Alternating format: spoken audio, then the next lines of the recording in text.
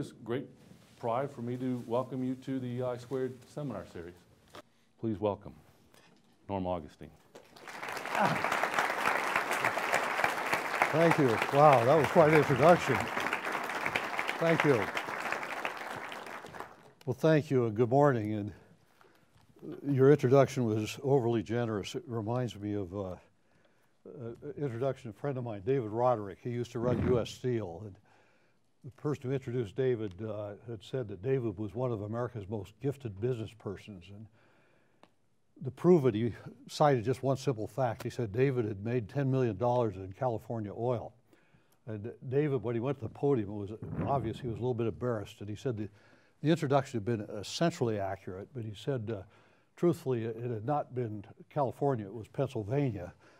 And he said, actually, it wasn't oil, it was coal. And actually, uh, it wasn't 10 million, it was 10,000. and it wasn't he, it was his brother. and he didn't make it, he lost it. So thank you for the great introduction. a little bit of it might have been true. But uh, before I start uh, talking about leadership and innovation, uh, a couple of points I'd like to, to, make. First is to thank everybody here for the hospitality. Uh, I've had the most wonderful uh, day already and evening, and I, I, just appreciate uh, being treated so kindly as, as you all uh, have treated me. Uh, secondly, to say how lucky you all are, uh, the students. when I went to school, we didn't have anything like this. we learned engineering, and you picked up the leadership on your own and the innovation on your own. And to have the opportunity to combine that is really uh, a rare experience. It would have been uh, probably unknown in my day, but uh, even today there aren't many places you could have this opportunity. So I, I, I congratulate you on it, and, and, I think it'll serve you well in your career. I'm going to talk a little bit then take some questions. So think of questions. Any question is fair game. I'll do my best. And uh, I make no great claim, claim of about knowing a lot about leadership other than I've studied a lot of leaders. And in my career, I've, I've had the good fortune of working for and being around some truly great leaders, uh, many of whom are quite famous people, many of whom you've never heard of, but were great leaders. And so I'm going to draw what I have to say today uh, from my experiences with them. Uh, I've lo lost my uh, clicker. There we go. Thank you. Uh, the uh, I'm going to start out with a quiz. My quiz is Would you invest your money in these people? And my answer is I sure hope you would. Uh, the second question, who's the leaders? That was the founders of the Microsoft Corporation. And uh, who is their leader? That's him right there. And my point is, you can't tell a leader by looking at them. The way you tell a leader is during a crisis or during hard times. Uh, the person who stands up and takes responsibility and becomes a leader, that's the way to tell. But you can't tell them by looking, uh, as is evident from this. I, I also want to make the point that uh, leaders can have a huge impact. Uh, leaders don't have to pound on the table to get things done. Uh, I use A.G. Lafley here as my example. Uh, I noticed the newspaper clipping, it's called the nice guy effect. Uh, AG was CEO of Procter & Gamble. I was on their board for 18 years as lead director. And let, let me kind of uh, tell you the story about AG. And I don't have a laser here, do I? Is that? I don't. So uh, I'll just describe by pointing. But Procter & Gamble is a company, uh, this is a plot of their stock price here. And as you can see toward the left, the stock price was going up as it had done for about 100, over 100 years. Uh, the board at the top there made one change in the corporation, and we put somebody else in as CEO. Uh, before AG came along, we put a new person in as CEO. And it turned out the board made a mistake, and we had a person who was very capable, had moved up through the ranks, but he wasn't the leader that you needed to be the CEO. And you can see what happened to the stock price as it dropped from the top to the bottom almost overnight. Uh, this was change of one person in a huge company, a global company like P&G. At the very bottom, we put A.G. Lafley, who's the, in the picture there in, as CEO. And after that, the stock kept going back up. And if you were to plot it to that scale today, it would be up around that speaker right now in terms of where the stock price is. That's the impact one person uh, can have, even in a very large organization. Unfortunately, you can also have the opposite impact uh, with the wrong person in a leadership role. Uh, this is a uh, chart that shows, uh, hopefully, uh, the rankings of the most admired corporations in their field in February of 2001, and you'll notice Enron was number one and by a huge margin. That was in Fortune. Ten months later, in Fortune, that was the cover of of, of uh, showing what had happened to Enron that had been exposed during that brief period. And so basically, uh, the poor leadership there brought down Enron, and along with it, some other great uh, firms, uh, including the, probably the gold standard in accounting uh, that it also brought down. So let me talk a little bit about what is leadership. And uh, the first thing about leadership is that uh, I might tell you, I, when I got interested in this subject, I looked in the dictionary. That's a good place to start out. I looked at Webster. What is the definition of a leader? And the definition it gave, the first one was a, a short piece of catgut. If you think about it, that's talking about for fishermen, the leader.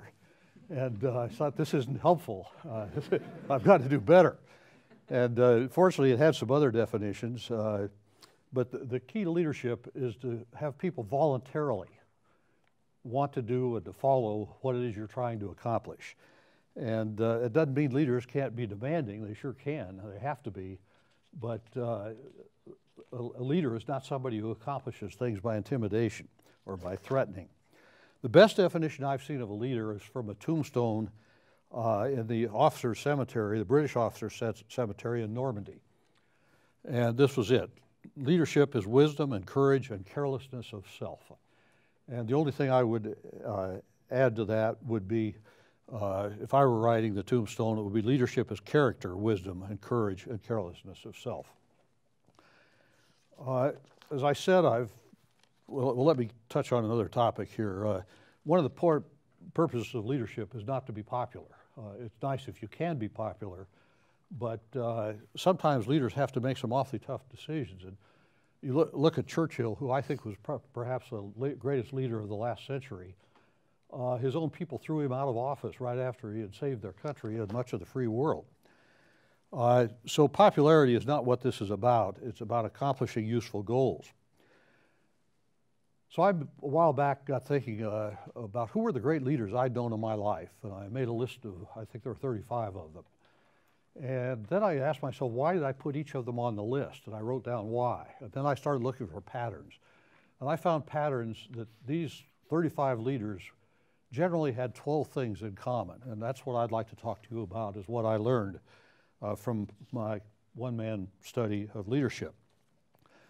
Uh, the first thing stood out in my mind uh, was they were people of character, people uh, that uh, had a strong moral compass, an ethical compass. And that makes sense. Who's going to follow somebody if you can't trust them? Uh, so it's a bit obvious, but it's absolutely first on the list. Let me just give an example. Some years ago, uh, Johnson & Johnson, that manufactures Tylenol, uh, someone was putting poison in the capsules that were on the drugstore shelves. And as I recall, seven people died uh, from that. And the question was raised to uh, uh, Jim Burke, a friend of mine who was CEO of Johnson & Johnson, uh, whether they should recall all the Tylenol capsules, 31 million uh, in the country and around the world, or whether they should not. And if they recalled them, it was going to be terribly damaging to the brand name. Uh, but if they didn't recall them, there was a possibility that there were other ones out there that were poisoned. Much of the advice to him was that uh, you can't control what people do with your products after you've made good products. Uh, he, though, felt that he had a responsibility to his uh, users, to his customers, and recalled all 31 million bottles. And uh, it uh, cratered their stock price. It badly hurt the brand for a time. But it was a great example of character and courage in spite of a lot of advice he got. Another example of character that I've always liked, uh, whoop, going the wrong way, comes from the company Inland Steel. Turns out there was a fellow by the name of Herb Krannert who worked for another uh, container corporation, one of the major container corporations. And he's a mid-career guy, and one day the chairman of the company came up to him and said, I've noticed the terrific job you've been doing. I'd like for you to serve on our board. And uh, he was terribly flattered. He thought, this is wonderful. And uh, the chairman of the board said, there's only one condition, and that is that you always vote the way I tell you. And he answered with two words. He said, I quit. And he didn't want to work for a company that operated that way. The next day, he's at home, and his doorbell rings, and six of his fellow employees show up on the porch. And they say that they had heard what had happened, and they too didn't want to work for a company that operated that way and said that uh, they would like to go to work for Krannert. He was the kind of a leader that they would like to work for. And he said, well, you know, that's just terrific, but I'm sitting here and I don't have a job. And they said, well, why don't we come in and let's sit down and figure out if we could figure out something we could do and start a company and you could be our leader, which they did, and they created Inland Container, which is one of the great container corporations of its, of its age. The question comes up uh, then, how do you react when you come to a fork in the road? And when I speak at business schools, I always like to quote a few numbers, and I'll share them with you. I usually open by saying this.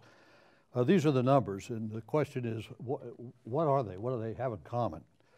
Uh, Swiss First Boston 1.5, ImClone 7, Rite Aid 8, Westar 18, Adelphia 15, Dynegy 24.3, Tyco 25, WorldCom 25, Enron 165. And then I ask the question, and somebody will guess, oh, it's the stock market price of the firms. And no, that's not what it was. Well, maybe it's the return on equity. Uh, no, that's not what it is. Uh, that's the number of years their CEO was sentenced to prison. and I've found when I speak at business schools, the audience perks up, but they tend to listen when they hear that. So clearly, uh, top of the list is ethical behavior, comportment, character. And uh, let me turn then to the second item, uh, and I'm going to take less time on the rest of them, uh, which is vision. Uh, Jack Welch calls it the ability to see around corners, uh, the ability to forecast the future. Uh, here's, here's an example of an editor who didn't have much ability to predict that. That was in January 1929. Eight months later, you know what happened. and there are a lot of examples of that. Here's another example. Uh, Alexander Graham Bell offered Western Union, which was one of the largest corporations in America at the time, the rights to the telephone for $100,000. And uh, Western Union turned it down. And in their files, a memo was found later that said, uh, What could you say with a telephone that you couldn't say with Morse code? And so they lost the telephone uh, for that. Let me give you a personal example. I worked for the government, and when I left the government, it was on the left side at the bottom there of that scale. And I was seriously talking to two companies and trying to decide between them which one I wanted to work for. Uh, both were aerospace companies. Their headquarters were about two miles apart. They're almost of the identical size. They both build airplanes. And uh, uh, you can see at the bottom there was when I made my decision. Uh, this was a time uh, that was a tough time in the airplane business. Uh, the one company made a strategic decision looking forward and said, we build airplanes, that's what we do, we're going to keep building airplanes. The other one said, uh, well, airplanes are important, uh, but space and electronics are becoming the dominant factors of this sort of a industry writ large. fortunately, I joined the one with the yellow curve that had decided that there was more than airplanes in the world. And uh, the yellow curve shows the growth in sales of, uh, of Lockheed Martin. Uh, the bottom one is Fairchild, which was the other firm. And that's, that's a real world example of, of what a bad strategic decision uh, can do or what a good strategic decision can do. Uh, that one of the toughest decisions uh, during my business career occurred right after the Berlin Wall fell, which was a wonderful event for the world. But for the aerospace industry, it was a disaster because the defense budget collapsed and uh, our industry lost 40% of its people and three quarters of its companies within six years. And the question was at that time, what do you do? And I used to read uh, a Woody Allen quote to our employees at the time when I spoke to them. More than any other time in history, we face a crossroads. One path leads to despair and utter hopelessness, the other to total extinction. Let us pray we have the wisdom to choose correctly. And that was really the way it looked to us. Well, what we decided to do was to purchase other companies. And we had sort of seen this coming, and so we were prepared. We'd saved a lot of money, and we put together uh, all or parts of the aerospace parts of 17 firms to create what today is Lockheed Martin. And those are the, the parts of 17 firms that are all those firms that we, we bought during about a five year period. And uh, uh, our strategy was that uh, we would take a bunch of companies with factories that were a third full and engineering labs that were a third full. We would combine them and get rid of the labs and the factories that we didn't need. And we wouldn't worry about making a profit, although we did, it turned out, but we'd worry about building market share. And the idea was when the market turned back up again, which we felt confident it would, and that was a big gamble, uh, that we then would be in the catbird seat in terms of, uh, of size and efficiency. And it pretty well worked out that way. And it was a simple strategy. The strategy has to be simple. The simplest strategy I've seen was one that Ronald Reagan had when he was asked uh, what his strategy was uh, for dealing with the Cold War. And that was his strategy. Uh, there's another problem uh, that many people run into and that I always like to say hope is not a strategy. Uh, you can hope a lot of things, and that doesn't make them happen. Uh, here's an example of a guy who had a lot of hope. Uh, I, uh, I don't know how his business worked out. Here's an example from a, a few years ago uh, of hope. General Motors loss shows plan is working. Turnaround on track as carmaker loses $115 million. That sounds like a poor strategy. And then there's the whistling through the graveyard strategy. Uh, the earnings season not as awful as some feared. Amid poor financials, and the first quarter is up, which is probably often true. The third lesson that I've learned about uh, watching leaders uh, has to do with the fact that most of them are very competent in terms of what they're doing. Uh, they know their business. Here's a fellow that was in, uh, in one of the uh, Turkmenistan, I think it was. It was he didn't know his business. Here's another example of uh, somebody who uh, got carried away with both risk taking and didn't know their business. I don't know if any of you have ever done this, but. of course, engineers are very familiar uh, with what happens uh, when you don't know your business. And let me give you an example. Uh, this is a very large antenna, the size of a football field. It's trainable. Uh, uh, and it's made up of thousands of brackets. And unfortunately, uh, it had a single point failure mode that could trigger a massive chain reaction failure. And just exactly what had been overlooked happened, as is often the case. And uh, this was the consequence, uh, just from overlooking uh, the strength of one bracket. That brings me to my fourth issue, which is leaders tend to have good judgment, at least the ones I studied. Uh, here's an example of bad judgment. We often learn more from bad examples than good examples. Uh, headline The liner Titanic sinks 1,300 drowned, 688 saved, 866 saved. Uh, the, the Titanic was designed to carry 2,224 passengers, and it was designed uh, to have 1,178 lifeboat stations. And the argument that was made among the engineers was that the ship is unsinkable. It was designed to be unsinkable, so you don't need a lifeboat station for everybody. Uh, there's a little bit of problem with that uh, logic, as you can see. I mean, if it's unsinkable, you don't need any lifeboat stations if it's, unless you think it's going to half sink or something like that, you need at least a lifeboat station for everybody. And as we all know, the consequence uh, uh, that uh, 1,615 people uh, lost their lives. Uh, here's another example of poor judgment. A few years ago, you were called at uh, Ford Explorers, which I had one, still have it. they had a habit of rolling over. And the Congress got very upset about this. There was a battle between Ford and Firestone that made the tires. Uh, the Congress called the CEOs of the two companies to testify before the Congress. Uh, the uh, head of Ford uh, wrote back uh, a letter to the Congress saying, uh, this was the press statement they put out. Ford said yesterday that President Jacques Nasser is too busy with the recall to testify at the House hearing or at another scheduled by a Senate committee uh, not good judgment because it turns out the Congress has another way to get you there. Uh, it's called a subpoena. And two days later, Uh, there they were under a legal subpoena with their right hands in the air, now under oath with a very hostile Congress before them. Uh, an example of very poor judgment uh, of, of, a leader. Then there's a matter of courage, the fifth item on my list. My favorite example, there are a lot of great examples of courage, but probably my favorite is uh, Shackleton, the Antarctic explorer. And this was an ad he put in the uh, London papers in around 1900. Uh, pardon the sexist attitude of the times, but men wanted for hazardous journey small wages, bitter cold, long months of complete darkness, constant danger, safe return doubtful, honor and recognition in case of success. Uh, over uh, 5,000 people signed up to take the trip with him. Uh, 27 were selected to go. Uh, and as, as, you probably know, they were trapped in the ice down there.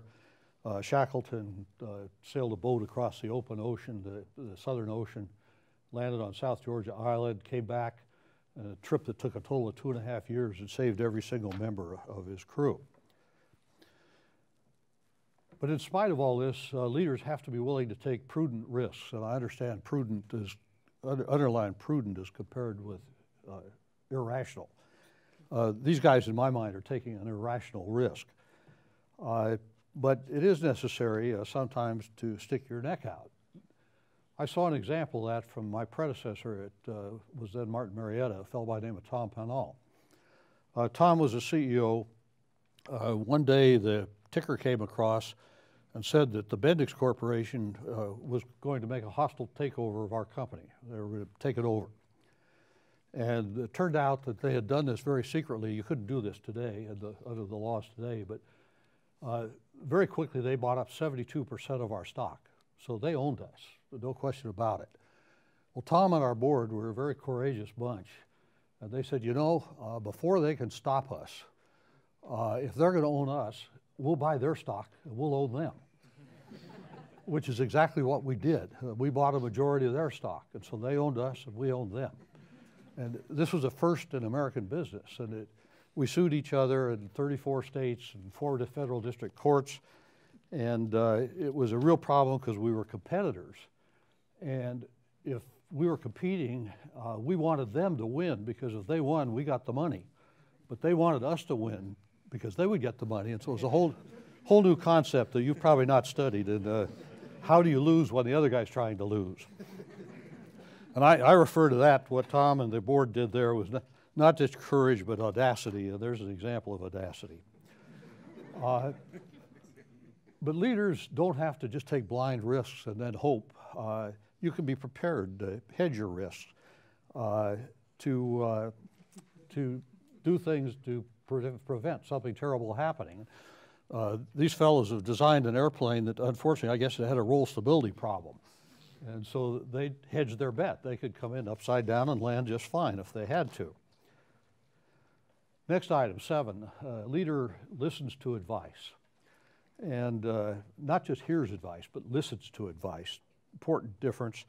The Challenger explosion, that great tragedy, was uh, a clear example where had the leaders seen and properly weighed the advice that was out there, I don't think there's a person in this room that would have launched the Challenger that morning.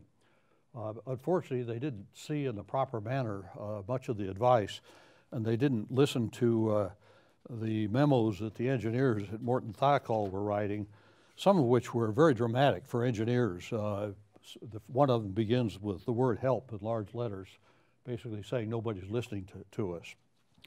Let me turn to my eighth item, which uh, has to do with uh, decisiveness. Uh, you may have to change course suddenly. Uh, two CEOs of Fortune 100 companies that I know that I had the misfortune of having to tell that their services were no longer needed uh, were very capable, decent, able folks. Uh, but they each had a problem, and the problems were exactly the opposite. one of them was a guy who was a ready, fire, aim person. I mean, he would fire before he had all the information that he could get his hands on, and uh, this was leading to disaster. The other one was described to me as somebody who said, ready, aim, aim, aim, aim, and never fired. And so it didn't work out. Well, leaders have to be decisive. And, uh, but when you're decisive, it's important to get it right. Uh, here's an example of a couple decisive guys. And uh, this may bring back memories in Seattle here a few months ago, the football game. Uh, my favorite example of decisiveness is a friend of mine, Kent Kresa, who ran Northrop Grumman. Uh, Kent made one of the great decisions that was described in USA Today. And by just chance, I happened to be sitting next to him at a meeting the day this came out in the newspapers. You can imagine how much fun I had with it.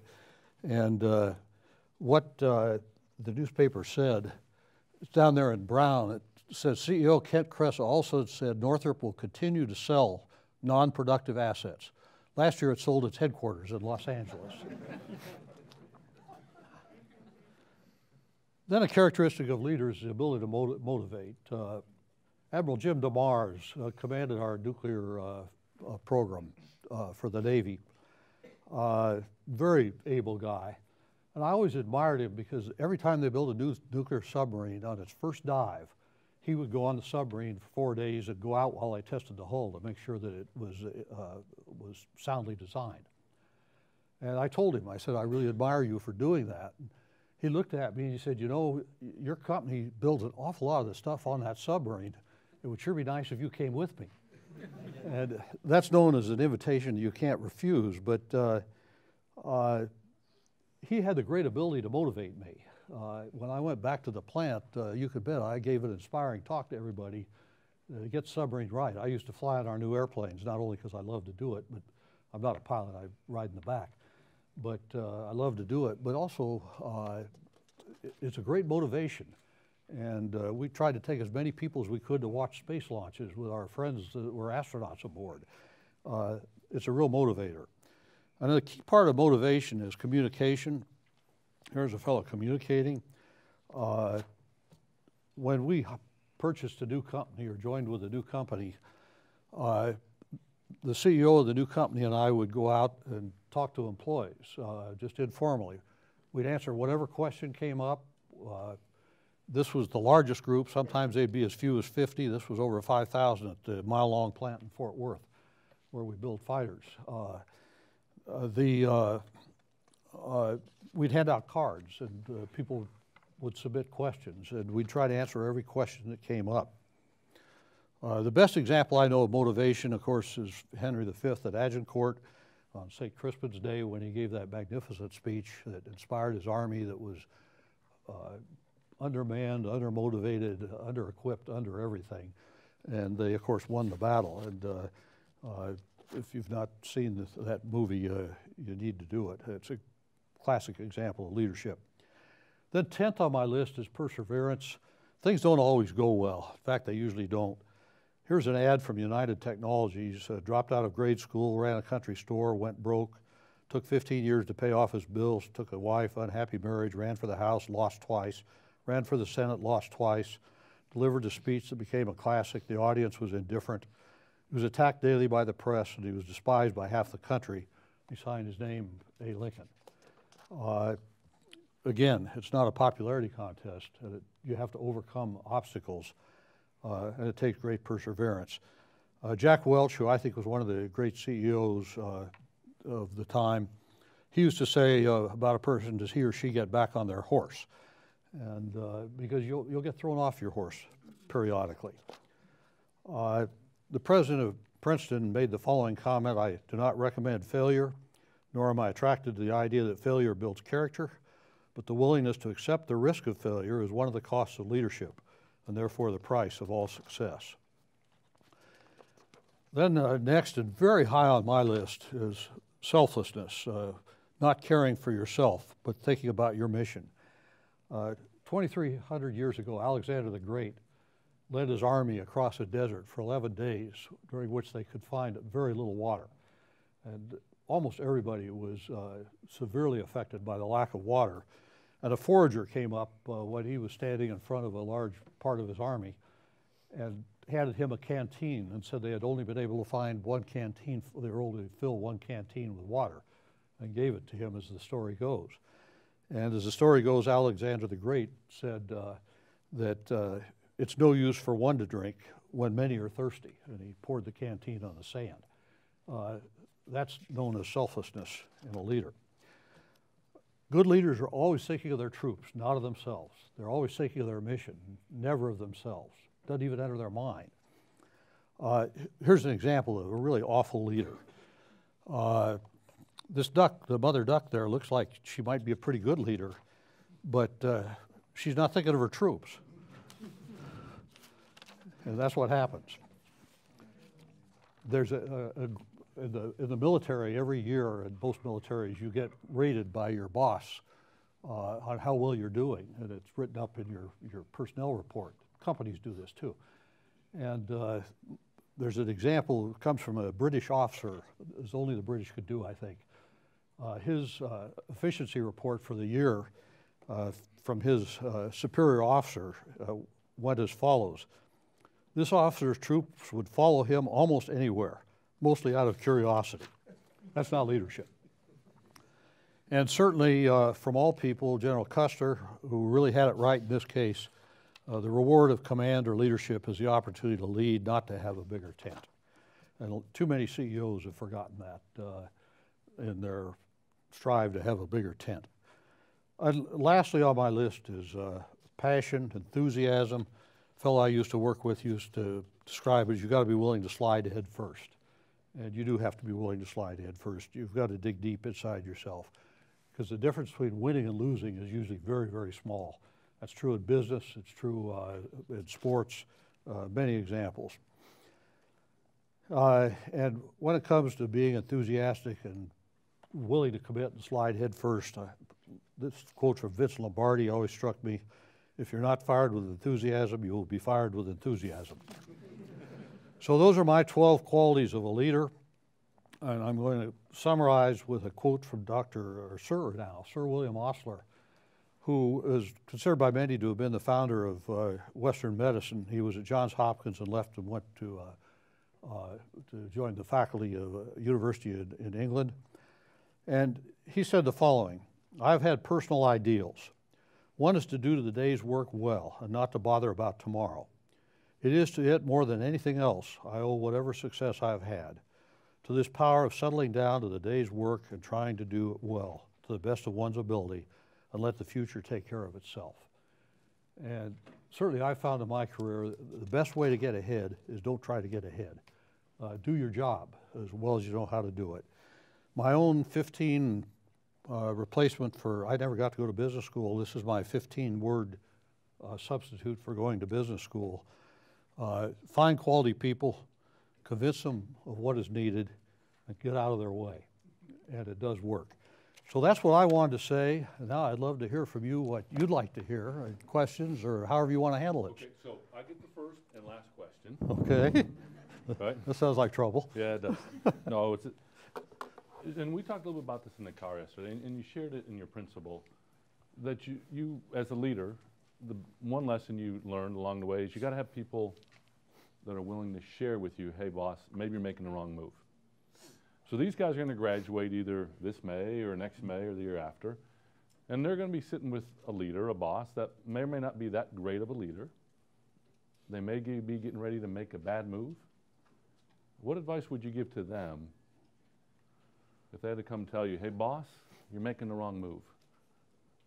Yeah, you, you've kind of got, uh, I've had this happen to me several times, and uh, you've got a couple choices to make. Is, is, this still working if I stand over here? Yep. You can hear all right? Okay. Uh, one thing you can do uh, is go to the boss and say to the boss, you know, I think you're making a mistake, and let me tell you why. And the boss may say, uh, that let me tell you, there's some things you don't know, and that you go away satisfied. There's another thing that the, the boss says, uh, you know, what business do you have coming in here and telling me this? I'm the boss. Then what you should do in that case is say, I quit, because go get a new boss. You don't want to work for that person for sure. And one of the glories in this country is it's a free country and you can quit. Uh, the, uh, uh, the third thing is you could do nothing and fall off the cliff with the boss. So to me, the, the only reasonable choice is you go to the boss. Now, if it's a good boss, and when you all become bosses, and you will, uh, try to have some people around you that have the courage that'll come into you. I, I had a few of these people that would come into me and say, Norm, you're really screwing this up, and tell me why. They were usually right. Those were good friends that would do that. Uh, that's the kind of people you want to have around you. I mentioned as we were driving yesterday, we had this great conversation for four or five hours, actually. I was thinking about it, we never stopped. Uh, when, I, when I finished uh, working in industry at Lockheed Martin, where I worked, uh, I, I went to teach because I'd always wanted to be a teacher for a while. And uh, the, it, was, it was such a, a, a great opportunity to, to do this. And I've forgotten, lost my chain of thought. What was the story I told about? Uh, oh, it was that morning when I started to teach. Uh, I happened to have breakfast with Warren Buffett. And I said, What did you learn in your career that I should teach to my students? What was the most important lesson in your whole career? And right away he said, Always have someone around to tell the emperor he has no clothes. And uh, great advice. And Warren's that kind of a person. You could go to him and say, I mean, all of us in this room who added together don't own a 1% of what Warren probably owns. Uh, any one of us could go to him and say, Warren, I think you're screwing this up. And he would tell you why he wasn't, and the chances are 99.99% that he wasn't. Uh, but he would respect you for doing that. I mean, he's that kind of person. And, uh, there are good bosses and bad bosses. And if you get a bad boss, life is too short. Go find a good boss. That's it, huh? That's it. Find a new boss. Find a new boss. Questions? We need questions. I've got to testify before the Congress in about two weeks, and I need practice. So ask hardwoods here. Here you go to the right. Okay, good. Uh, I'm noticing you talk a lot about studying past leaders. Who would you say your number one role model is? Oh boy, that's uh, a good one to think about. Uh, boy. A lot of people come to mind. I guess I'd say uh, General Omar Bradley, uh, the famous World War II general, who I happen to have the good fortune to get to know pretty well. And uh, General Bradley was a, a great leader, uh, a quiet, decent man, absolutely ethical person. Uh, in the Army, he was known as a soldier's soldier. And uh, I think it would be he. One other person that comes to mind, and this one will surprise you probably, uh, was Sandy McDonnell, who ran McDonnell Douglas and were our biggest competitor.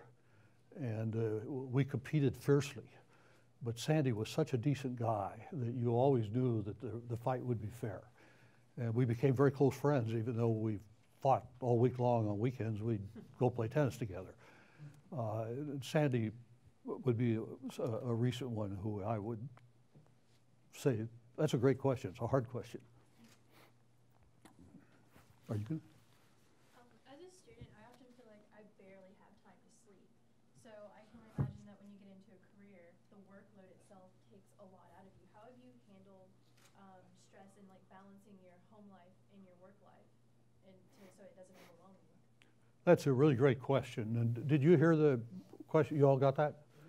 Uh, uh, what you say is absolutely true. I mean, there'll be people who say that there's no problem. Well, that's just not the case. You, you have to make trades. You can't do everything. Uh, you have 24 hours a day, and uh, you do have to sleep a few of them. And uh, in my case, I was very lucky.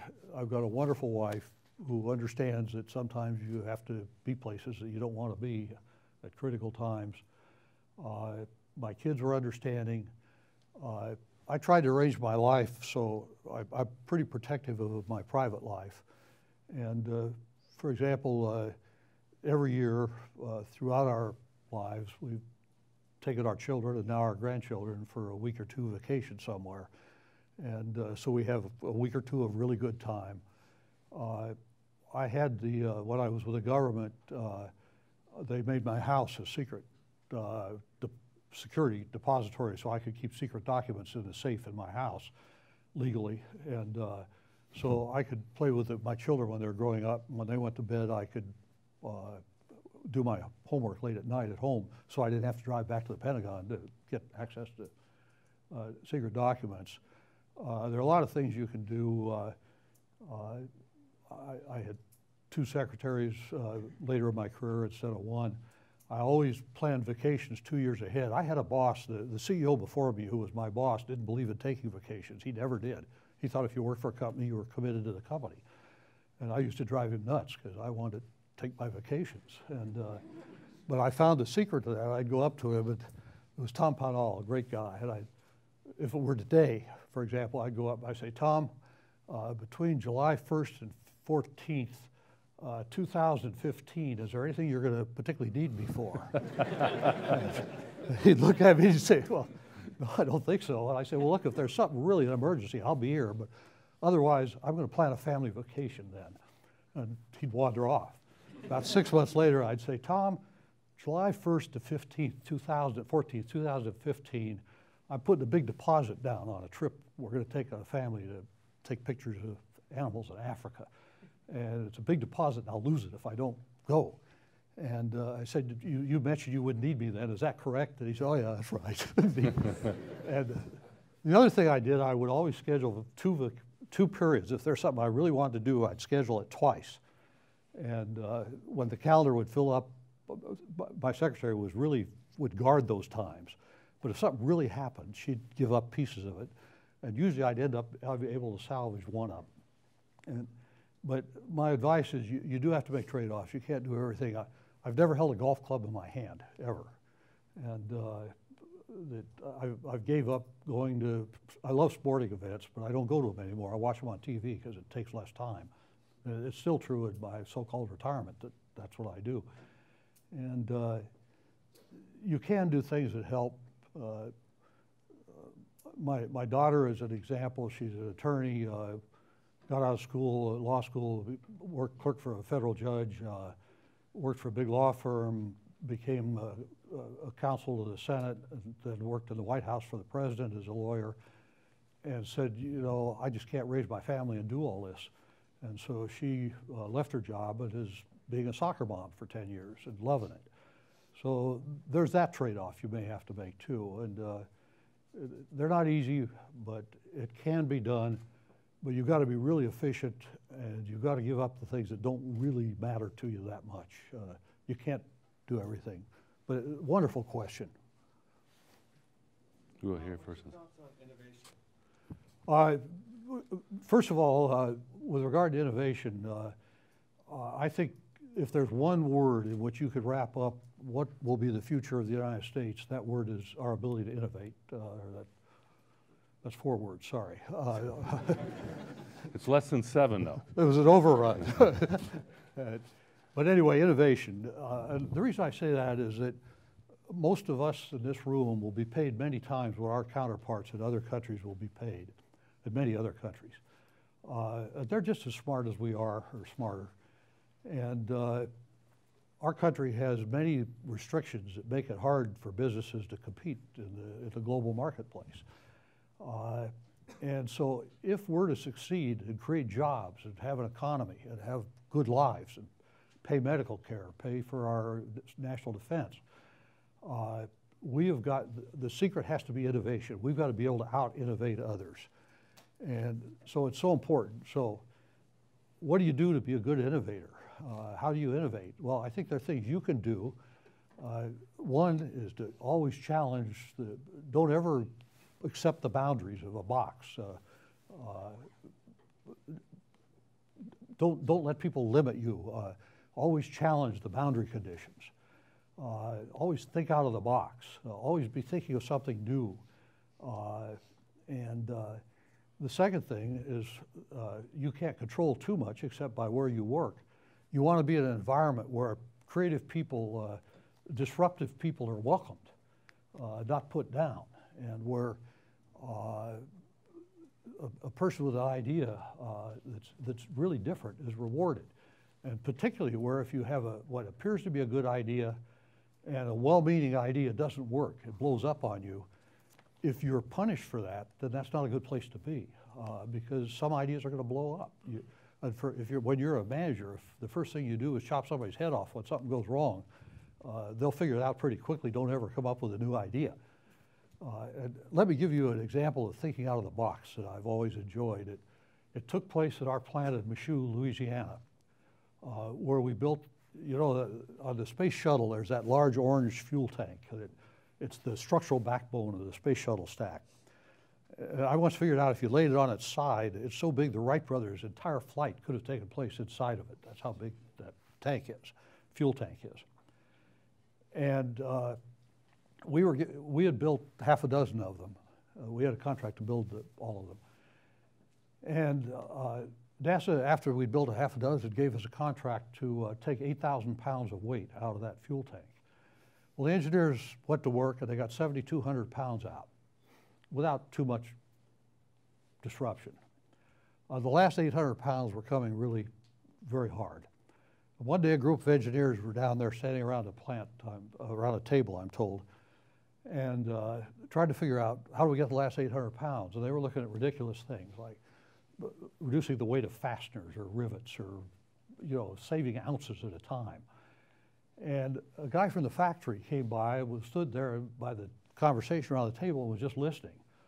And after a while, this guy from the factory, uh, you may recall it, uh, the first tanks, the, those first eight or 10 tanks were, were white in color.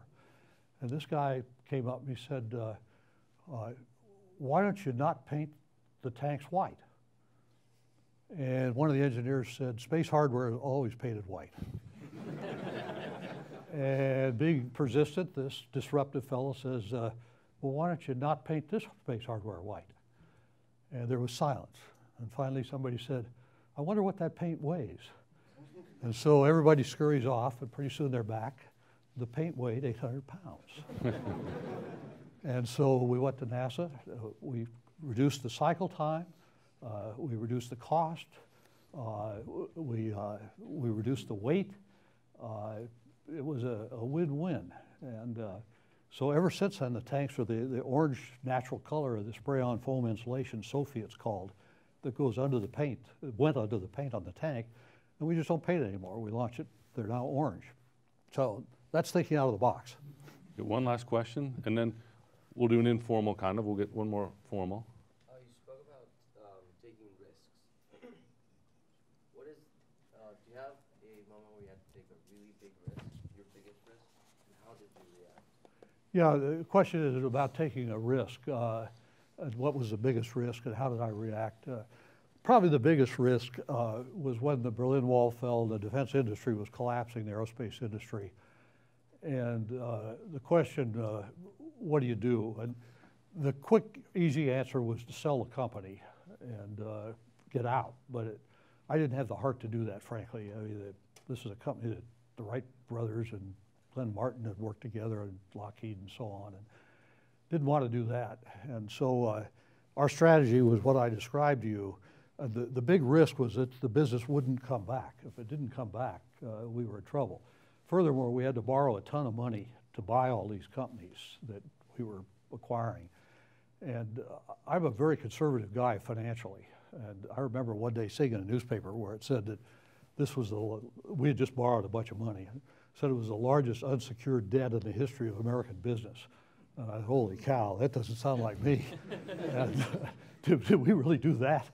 And fortunately, things worked out very well. And, uh, but that was probably the big, biggest risk. The biggest personal risk I took uh, was uh, when I was uh, 35 years old, I guess, 37 years old. I was asked to become Undersecretary of the Army.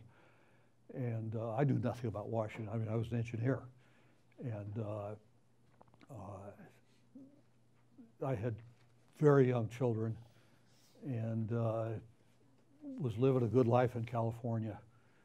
And uh, the question is, do you, but it looked like a wonderful opportunity to do something new, to contribute to the country and to, to learn. And so uh, the question my wife and I had to deal with is, do we tear up everything we have, move across the country? We were still young enough, we didn't have much money. And uh, rent a house in Washington and work in Washington. And it was a huge risk that we took it together. And uh, as far as I know, it really turned out well. Now, one of the things when you make a choice, you'd never know what the other path would have been. And uh, it, if we have time after a break, I'll talk about another risk when I was in high school. And the teacher told me what I was going to do with my career and my response. please help me thank Professor Augustine. Thank you. My pleasure. Thank you. Thank you very much. Thank you.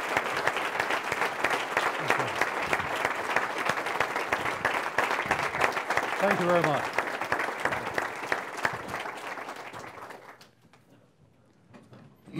Thank you. Uh, If you got to go to class, go to class.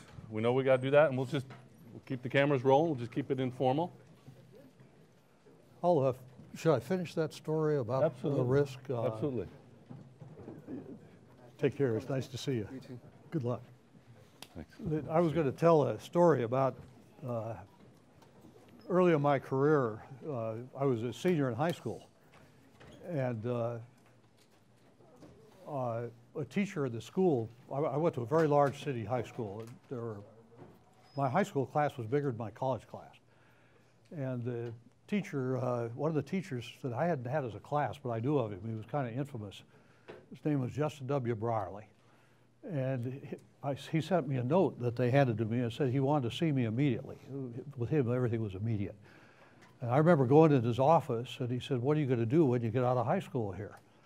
And uh, I had, uh, nobody in my family had ever gone to college. One had gone to high school. They hadn't had the opportunity, unfortunately. And uh, uh, so I, he asked me what I wanted to do, and my family was very committed to education. They knew the importance of it. But for some reason, I, I love the outdoors. I like to backpack and hike in the mountains. I spent lot, probably over a year of my life in a tent in the mountains of Colorado and elsewhere. And so my answer to him was, on the spur of the moment, that I think I'd like to be a forest ranger. And he got all upset with me, and he said, "That's not what you're going to do." And he said, "You're wasting my time. You're wasting everybody's time here." And he threw me out of his office. And I remember I was really offended because I didn't ask to be there in the first place. And then to get thrown out was adding insult to injury. Few months later, I get another note. Justin W. Brierly wants to see you immediately. So I wandered back, and I remember going down the hall thinking that I know one wrong answer, but I don't know what the right answer to the question is. But it turned out he didn't ask me a question. Uh, he handed me two envelopes. Uh, one was to Williams College, one to the, was to Princeton. He said, uh, "That's where you're going to go to one of those places." And I said, "Yeah, even if I could get in there, I couldn't afford to go." And he said, "Well, if you get in, they'll, they'll pay your way through." And uh, he said, "Go fill them out." Well, those days you did what a teacher told you. Well, I'd spent, uh, you know, basically my whole life uh, in Denver and uh, not traveled. Uh, and to me, uh, I, I knew that Princeton was somewhere near New York, which was east of Wichita, Kansas. And I mean, th- th- this was a huge risk to me, and I wasn't sure I was up to compete there. That, I, that I would be able to take the competition. And as a matter of fact, as a freshman, I was scared to death. And it turned out to be good because I really worked hard, and it got me off to a good start.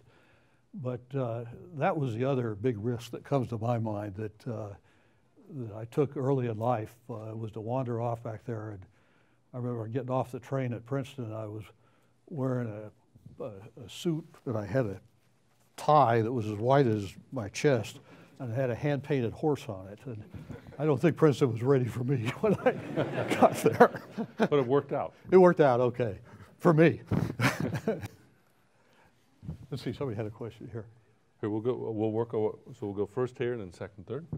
Yeah. Um, having been on the advisory committee for the future of the U.S. space program, do you see us having achieved the vision of that committee? And if not, what can we do as upcoming engineers? Okay, could you hear the question? Uh, Okay, the question was that I was involved with a couple of advisory committees for uh, the U.S. space program, and do I think that we're carrying out the vision of that committee? And if not, what can we do? Did I get the question basically right? Uh, The, uh, my answer is no, I don't think we're carrying out the, uh, the hope of that committee. Uh, And I think the president made a good choice from the selections we gave him. Uh, I, I, many people won't agree with me, but I think we have a good plan in this country. But from day one, we never put the money in the budget to uh, carry out the plan. And this isn't the first time that's happened. We've done that over and over, particularly in the human spaceflight program. So I distinguish, I think in the, in the robotic spaceflight program, uh, we have a good program and I think it's going to do fine. The human spaceflight program, I think, is in real trouble because we're trying to do things we don't have enough money to do. And every time we've tried that before, we've come to the edge of a cliff. And I think we're headed toward the end of a cliff. And I say that with great regret. And the question is, what could we do? Uh, we offered options to that uh, in our report, most recent report. And uh, there, there are really basically two choices. Either fund what you want to do or do something that something else, maybe not the thing you'd most like to do. And that something else in my mind is invest in technology, uh, advanced technology, out of the box technology, so that someday we could be prepared to put humans on Mars, which to me is the next big challenge in, in particularly human space flight. So, um, you had said that Lockheed Martin had decided to go with rockets and electronics. I, I wanna know what's next. I missed the first part of the question. All right, you had just said earlier, uh, Lockheed Martin decided to go with rockets and electronics instead of just, you know, going with the, air- the airplanes. So I wanna know, what do you think is next? Okay, what, what do I think is next uh, for companies like Lockheed Martin? Uh, I drew the rockets and electronics analogy earlier. Uh, one of the things that I've, I've observed, uh, uh, most of my background has to do with aerospace, uh, uh, that when aerospace begins to fall into the low part of a cycle, and it is a cyclical business, as are many, uh, when it gets to the low part, the management always says, we'll diversify out of aerospace. And I once made the mistake uh, on TV of commenting to a reporter that uh, that uh, that has been our strategy uh, for as an industry, and our record is unblemished by success. And uh, I've been teased about that ever since. And uh, I've learned that there are kind of two parameters when you try to move away from what you've been doing. Uh, one is who is the customer, and the other is what is the product or the technology that you're dealing with. And if you try to change both, there's almost no chance of success. If you try to change one at a time, there's a slight chance of success. In other words, it's very tough to go into new businesses. So the best thing, if you can, is to find bolt-ons that you could attach to uh, uh, things that you're already doing. And uh, the company uh, happily, I don't speak for Lockheed Martin, I should tell you, I'm not on the board. I know a lot of good friends there, but that's it. And I'm very proud of the company, I should say, but uh, I have no influence there whatsoever. I don't speak for them. But I think they have an opportunity uh, because of the breadth of their technology, the systems engineering skills, to attack big systems problems. And they have the informatics skills. And so I can see them uh, moving into uh, all kinds of fields where you have huge systems problems. One you saw this weekend, the post office has a huge systems problem uh, that uh, you probably don't have to be an expert in sorting mail uh, to be able to deal with. Uh, also, I think there's some technologies that are going to make a big difference. The technology I've had my eye on for some time is the ability to one time we will be able to generate the ability for humans to interact with computers on human terms, not on the computer's terms. And we've made what I would say is modest progress in that arena in the last decade or so, and I think we'll make huge progress in the next decade. And, and what, what I'm thinking of, for example, I, I did some work for Toyota a while back, and they gave me a, a car. And I, I get the new car I've got uh, from Toyota.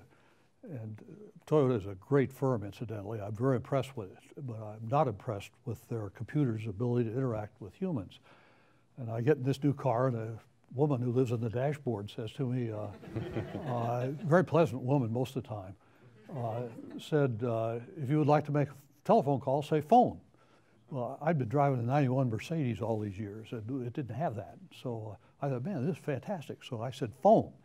And she said, lower the temperature two degrees, which she did. And so I thought, I'll try again. So I phoned two more degrees. Pretty soon I'm so cold I can't say anything. so we've got a ways to go, but that's going to have a huge impact when we can do that. That you could say to your computer, uh, uh, next Thursday night, get me a reservation at that restaurant that had the good Mexican food in Chicago that I was at four years ago. And the computer will do it. Uh, that's, that's when we'll really have something. We'll take one more, and then we'll do informal. Okay? Um, when did you realize you wanted to become a leader? What made you realize that? And how did you develop your leadership skills? From that point on? Okay, uh, my answer is going to disappoint you, I'm afraid. I never really did decide I wanted to be a leader. I, I wanted to be an engineer. And uh, I, I tried to be a good engineer. And uh, I was working at Douglas Aircraft at the time in California, and uh, just out of college. And uh, they had some problems with a, a rocket blowing up, and uh, put me in charge of a group of half a dozen people to figure out why the rocket blew up. And uh, I guess we did okay because uh, then they put me in charge of the section that oversaw that kind of thing that dealt with all the rockets blowing up. And uh, pretty soon, the next thing I knew, I had 180,000 people working for me, and there was no point at which I said I'm not going to just be an engineer. I'm going to go into leadership. Uh, it just sort of happened uh, along the way, and uh, uh, but I learned a lot about leadership. I think uh, from a couple things. One was from watching uh, leaders around me and studying. I, I've had really great bosses in my career, so I could learn from them. And uh, my bosses looked out for me. They, they, they took care of me. They gave me opportunities. That's a sign of a good boss. Uh, of course, the other possibility is they were trying to get rid of me to go to somewhere else. But uh, the other places I learned leadership was from uh, athletics. I, I was not a great athlete. I was probably a good athlete. And uh, from uh, the Boy Scouts, where, where I think I learned more about leadership than anything else that I ever did. And uh, otherwise, I sort of picked it up along the way, just like I picked up business along the way. I'm going to do the unpleasant thing. I'm just watching his time, and so we're going to end the discussion. Okay. Um, once again, I thank you very much. Thank you. You've lived Tim. clearly. You are living all your principles, but 11 and 12, having a mission, and it's about creating leaders and having passion around it. So thank you very much for doing that. Thank you very much. Thank you. Thank you all. Good luck.